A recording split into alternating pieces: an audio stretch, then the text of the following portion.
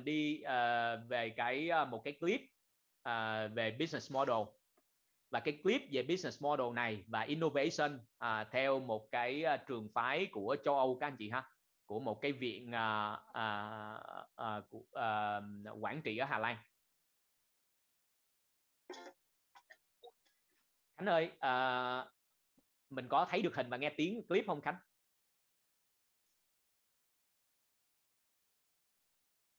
Vừa xong loáng thoáng một tí tiếng hình thì có rồi thầy dạ lại rồi dạ dạ cảm ơn uh, dạ How could firms like Commodore Computers, Grundig, Nakamichi, Newsweek, or Polaroid possibly fail? Did they not have abundant R&D resources, top employees, and profound knowledge of their markets? Yes. But they had another thing in common. They all missed the moment when they should have left their successful path to rethink their business model. They missed out on radical innovation because they were too busy managing daily business and serving current clients instead of envisioning future opportunities. In other words, today's success is the enemy of tomorrow's success. The innovation cycle spins faster than ever in nearly all industries. Innovation either increases the customer value of a product or service, or it lowers their costs, and therefore creates a competitive advantage. Apple, for instance, creates a high perceived customer value with its innovative new products. And Dell reduces its costs and working capital through build to order processes. But even though its importance is undisputed, there are many misconceptions about innovation. Three myths are particularly pervasive. First, innovation stems from ideas nobody has had before. Second, big success requires big resources. And third, innovation breakthroughs are always based on fascinating technologies. Luckily, they are all wrong. IBM did not invent the personal computer. Apple did not invent MP3 technology. And Amazon did not invent the online bookstore. Successful innovators learn and recombine, whereas the pioneers get eaten by the wolves. Cisco had virtually non-existent R&D resources, but out-innovated the largest research lab in the world, AT&T's Bell Labs.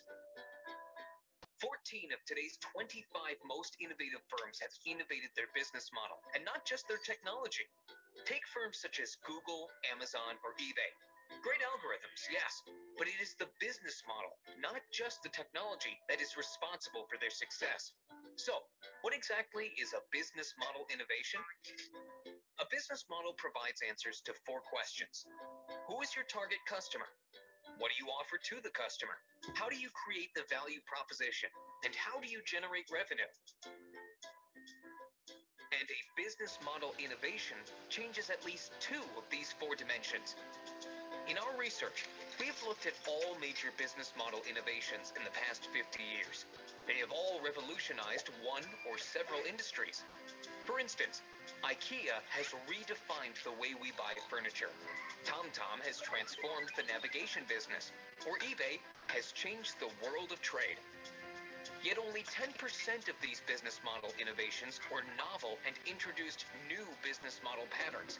The other 90% merely adapted, refined, or combined these patterns. For instance, innovative companies often apply creative imitation. They ask themselves, how could a business model innovation from another industry revolutionize our own industry? In total, we have identified 55 business model patterns that are responsible for all business model innovations. For example, flat rate, supermarket, rent instead of buy, experience selling, e-commerce, or the razor and blade pattern. Let's have a look at this one. Since 1904, Gillette has been giving away razors for next to nothing, but selling its blades at obscenely high prices. Nespresso creatively imitated this pattern, selling cheap coffee machines and expensive coffee, and revolutionized the coffee industry. And many other companies applied the razor and blade pattern too. Remember Apple's iTunes, Amazon's Kindle, or Hewlett Packard's inkjet printers? Now, what do you have to do to innovate your business model? We advise you to follow four steps initiation, ideation, integration, and implementation. During initiation, you analyze your current business model. Again, who is your target customer? What do you offer to the customer? How do you create the value proposition? And how do you generate revenue? During ideation, you confront this business model with the 55 business model innovation patterns and develop new models. How would Nespresso conduct your business? Or is there a match between your product and the experience selling pattern? Challenge your basic assumptions and the dominant logic of your industry. But don't try to reinvent the wheel. Instead, use analogies and learn from other industries. During integration, you need to check the consistency of the business model. This is important detail work where you examine all four questions regarding organizational fit. Finally, during implementation, it is time to awaken the beast. Be careful. In iterative cycles, you design a business model, build a pilot, test the pilot, and return to the design phase.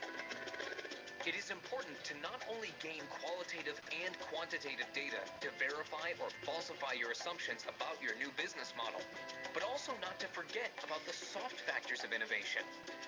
Thanks to incorrect management behavior and organizational resistance, more than 70% of all change initiatives fail. Therefore, keep a few rules in mind. First, only implement one business model at a time. Second, clearly communicate the new business model and the need for change. Third, don't overemphasize short-term KPIs. Innovation needs time. Fourth, get top management commitment. Without their sponsorships, business model innovation is doomed to fail. And finally, overcome the not invented here syndrome.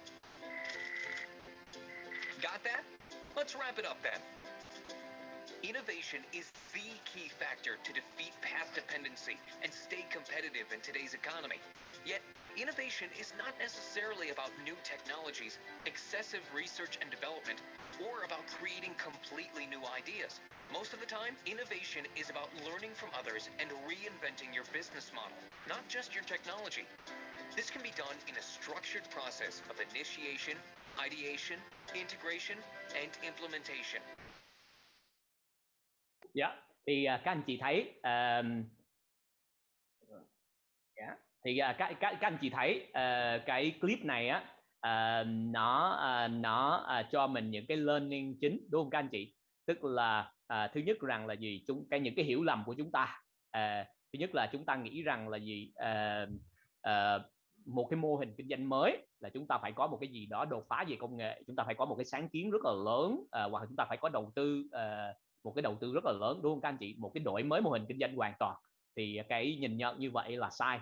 À, đúng không các anh chị? Thì à, thì uh, trong quá khứ đó thì chúng ta thường làm chiến lược á thì à, chúng ta nghĩ đến hai cái yếu tố hai cái cái chiến lược uh, mà chúng ta đi. Thứ nhất là chúng ta cải tiến sản phẩm chúng ta làm sản phẩm tốt hơn đối thủ. Hoặc là thứ hai nữa là chúng ta làm sản phẩm rẻ hơn đối thủ đúng không các anh chị?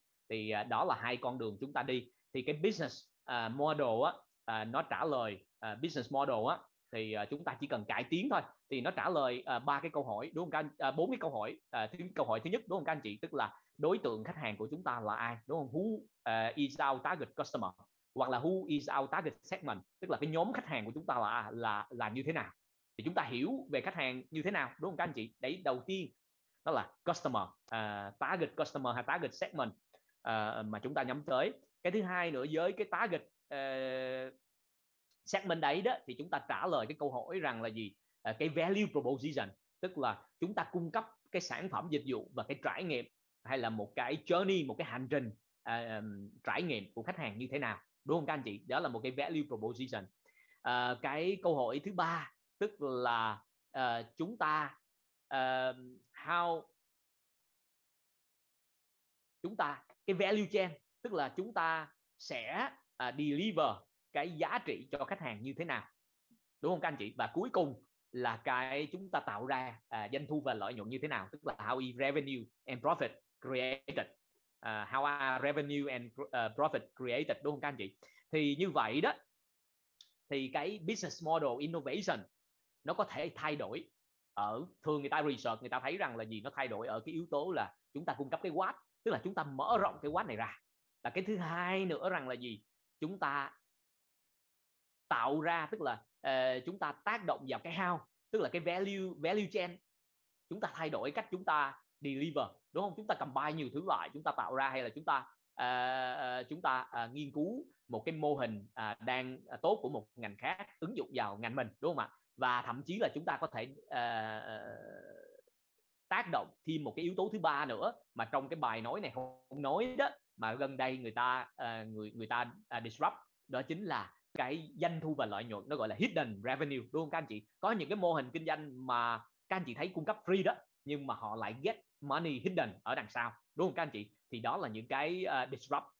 Và uh, cái tiến trình mà chúng ta uh, uh, chúng ta uh, uh, đổi mới mô hình kinh doanh đó, thì uh, đầu tiên uh, là chúng ta phải tìm hiểu cái mô hình kinh doanh hiện tại của mình đúng không? Chúng ta phải phân tích cái mô hình kinh doanh uh, hiện tại của mình và chúng ta xem là ở những cái chỗ nào chúng ta có thể đổi mới được đúng không các anh chị? Và đó là những cái idea những cái initiate ờ, idea. Và trong những cái initiative idea chúng ta đừng có hiểu lầm là chúng ta phải disrupt mà toàn thị trường mà có những cái ý tưởng mới à, mà chúng ta có thể thay đổi ở cái what chúng ta thay đổi ở cái how và thậm chí chúng ta thay đổi ở cái value này.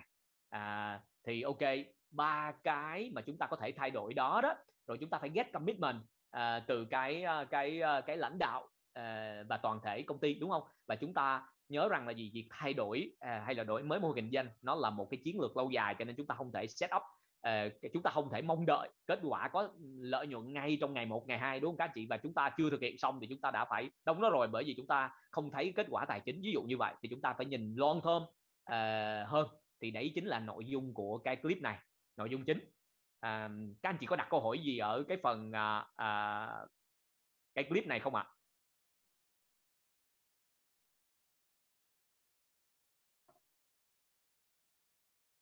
Nếu các anh chị không có đặt câu hỏi thì mình đi tiếp sang